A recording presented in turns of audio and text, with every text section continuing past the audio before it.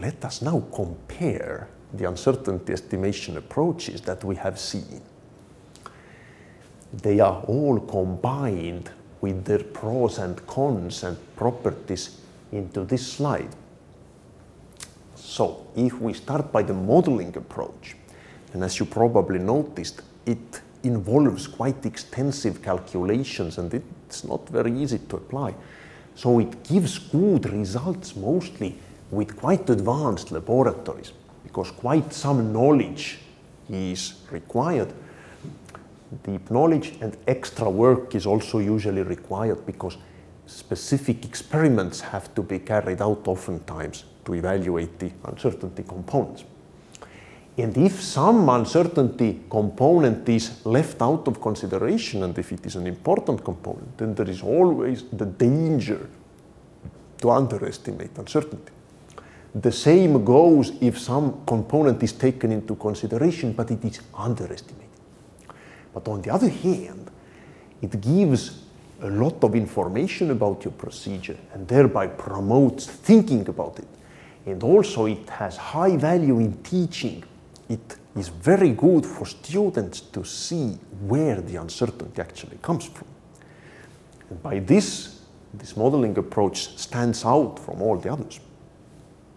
Now, if we look at the single lab validation approach, then this should be fairly well suitable for routine laboratories who do not have time or competence for carrying out a lot of extra studies.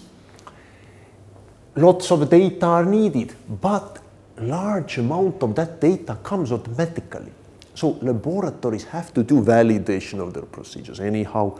They usually have to analyze certified reference materials anyhow, and they have to participate in interlaboratory comparisons anyhow. And all these data can directly be used in measurement uncertainty evaluation so that all in all, less extra work is required. The data that automatically are available in the laboratory can be used directly. And the uncertainty estimates that are obtained are very realistic. So the uh, danger to underestimate measurement uncertainty is much lower.